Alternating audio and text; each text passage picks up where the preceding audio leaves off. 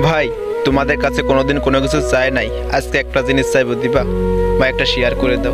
Please ভাই, একটা শেয়ারই তো। আমার অ্যাকাউন্টটা ফ্রিজ হয়ে আছে। এটা আনফ্রিজ করতে হলে এক হাজার শেয়ার লাগবে।